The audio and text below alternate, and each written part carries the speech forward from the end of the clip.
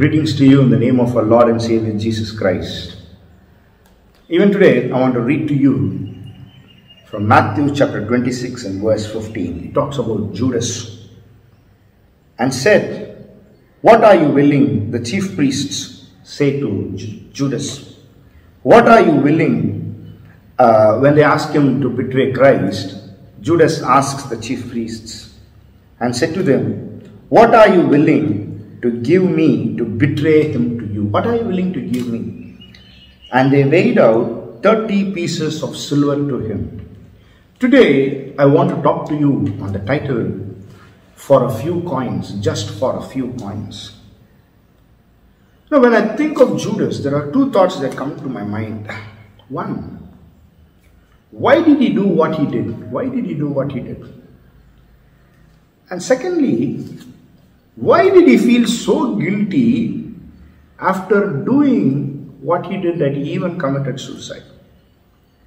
You know, the same thing, the same two questions can be asked of uh, many villains and many evil men, evil men, even in the even in today's history.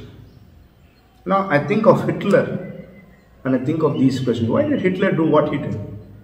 And finally, why did he? Why, why was he, he so scared that he should commit suicide? Why did he feel? Uh, why was he so scared that he had to commit suicide? Now we need to know one thing about Judas. Judas was personally chosen by Christ.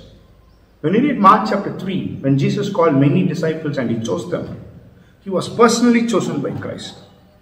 And another point is Judas had to forsake everything to follow Christ. And he did it. And Judas had the front row to witness the miracles of Christ, to hear the preachings and teachings of Christ. And not just that, he was also one of the leaders of the band. In fact, the Bible calls him, he was the treasurer, the man who was taking care of the money of Christ. When somebody gave some contribution, some offerings to Jesus, Jesus handed it over to Judas, saying it, save it up, put it up. We'll use it somewhere else. We'll use it for our journeys. We will use it for our food. This guy, he ate with Jesus, he slept with Jesus, he traveled with Jesus. Yet at one point of time, he betrayed Jesus with a kiss. In fact, when you read Luke chapter 22 and John chapter 13, they record after Judas partook in the Last Supper, Satan entered him.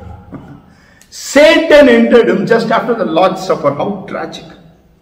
You know, somebody, I read a quote, somebody writes uh, somewhere like this. Somebody says, Judas had the best pastor, the best leader, the best teacher, the wisest guru, the best friend, yet he failed.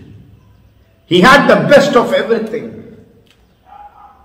You know, today, when believers all of a sudden leave a church, you know, they blame it on the pastor. You know, spiritual growth is not just about your guru. Because Judas had everything good, but still this man was wicked. I'll tell you, when something goes wrong, don't blame your pastor. Don't blame the man of God. No. Think whether something wrong is within you. Judas had the best pastor, the best leader, the best teacher, the best prophet. He had the priest, prophet, and king. Yet he was the worst villain in the history of the world. Just for a few coins. He was greedy, unfaithful, wrong motives, and he betrayed. And sadly, he even killed himself. And I believe Judas is dead 2000 years back. But sadly, his spirit, or I, would, I should use the word, his actions still live on. Today, many play that same old Judas game a commitment of pretense, fake discipleship. We all have played Judas at some point or the other just for a meager few coins.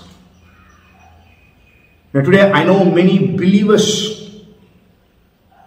going to a particular church just to betray their pastor. I know people getting into many Christian deeds just for their own personal gain. When Judas realized that Christ is going to die a horrible death, and when Judas realized his ambitions, his aim was not working out, his lust for money was not being fulfilled, all that he could do was, let me get more money you know, the, the, the, simple thing here is when you read when you read uh, Matthew chapter 26 and verse 15, he simply goes and asks the chief priests, What are you willing to give me to betray him? Simple. Okay, you want me to betray Jesus? I'm ready to betray Jesus. What are you willing to give me? They could have given any answer, but the enemies knew the weakest link in the group of Christ was this one greedy fellow, and if you give him money, he will fall flat. They knew that money can buy Judas. Today, I want to ask you this question. This question is directed even to me. What is that that can buy you? What is that that can buy me? What is that 30 coins that can make us betray Christ? Can our jobs take us away from Christ? Can our jobs betray Christ? Can our ego betray Christ? Can our pride betray Christ? Can our prosperity betray Christ? Can my fear betray Christ? Can my money betray Christ? You know, anything can be a few coins that can make us betray Christ. Today, I want to, I want to conclude with these three statements. Don't let Satan enter into you. Don't let the world deceive you. Don't let a few coins distract you. Hey, you are not a Judas. Don't become a Judas. Don't become a Judas. Peter also denied the Lord, but he came back to the Lord and he sought forgiveness. Judas. He wasn't ready. He didn't understand Christ even after traveling with him for more than three years. Don't let any, don't let, don't be, don't let anything buy you out. Don't let anything sidetrack you from what the purpose that God has for you. Ponder over it, think over it. May us, may us travel, follow God, and let no coins separate us from Lord. Stay blessed in Jesus' name.